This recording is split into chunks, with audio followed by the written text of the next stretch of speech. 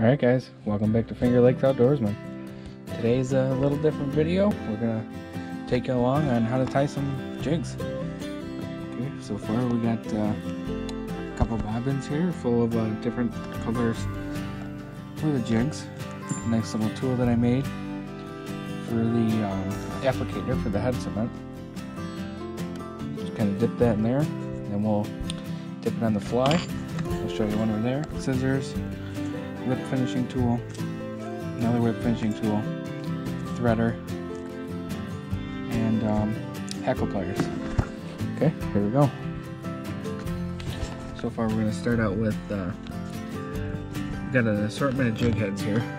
These are the kind of the ones that I like to use. They are 1 16th size. Okay, put that in the vise. Sure it's nice and secure. So we're gonna build, um, I don't know, we'll start with the red one. Actually, we'll start with black.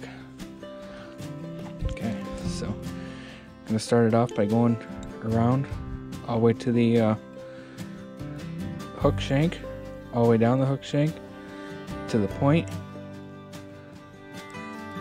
Keep going, and then take it behind that line, wrap it back, and then wrap it all the way back up through. Once you got that, you kind of let that hang there. Take your scissors, cut off the tail end. Take the um, take the nice little tool I made here. Pretty interesting. Dip that in the uh, stuff and um, apply it onto the hook. Okay, so now we got that.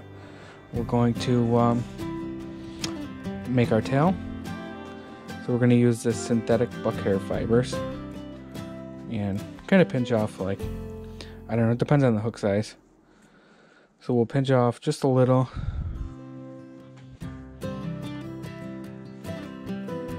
Just so kind of get it even, just so it looks good because the tail is probably the most one of the most important parts. And that isn't going to work so I'm gonna have to get some more. We'll go with the the pink fox bucktail because we haven't used any of that yet. It'll give us a nice clean cut. Okay pull that out. You can tell like the fibers are a little different. Gonna take a nice pinch of it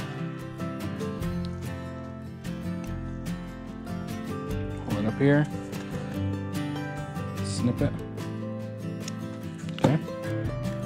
So you got a little bit, and then you can kind of thin it out as you, you feel. Kind of pull from the back, it kind of gives it a little better look. Put it up here.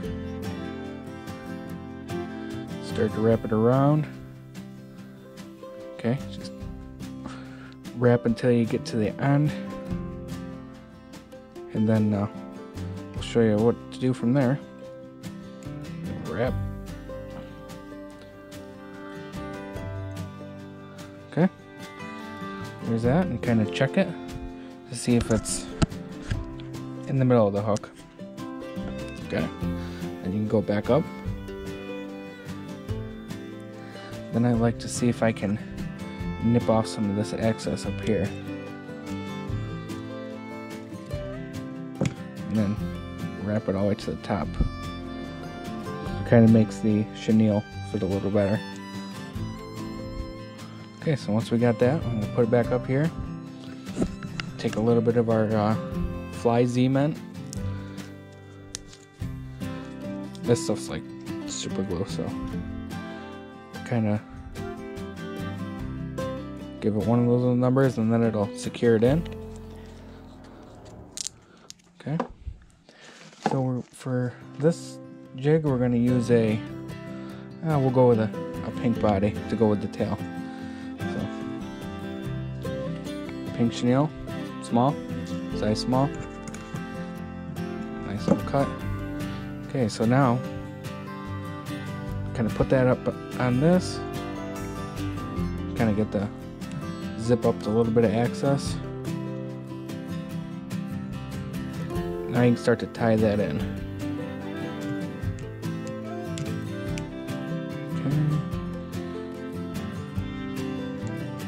kind of skipping on me, so off the wheel. Okay, so now that's set like that. Wrap it back, and then we'll actually use a little of the uh, fly cement with our tool here.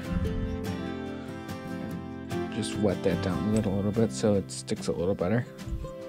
Okay, the tool's working great. Okay, now we come to wrapping. Make sure your uh, your thread's all the way to the front by the ball of the jig head. And then start wrapping. You want to make it nice and tight so it doesn't come apart.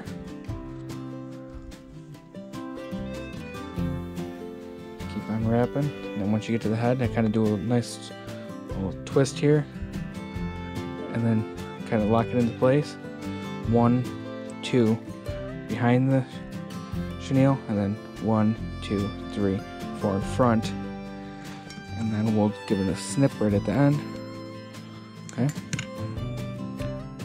And then we'll do probably six passes with just the, uh, just so it locks in and I kind of trim off what I can see access. Okay, so now we're going to take our whip finish tool. This is the hardest part to learn. Put the hook down around the, the hill, they call it. Put it just like that. If you guys can see that. Kind of make the triangle. Triangle on the we're gonna go there. Twist it like seven times. Seven or eight okay? See you can go up click it out and then cut it cut the excess. And for the final step is you're going to put a little more on this applicator here Put a little cement on the thread. A little more there. Okay, and jig's done. We have a nice pile going, so uh, yeah, we gotta do all those jig heads and some more. So we'll definitely be busy. And we got a bunch of different colors to make, so this is just uh, one way to make them.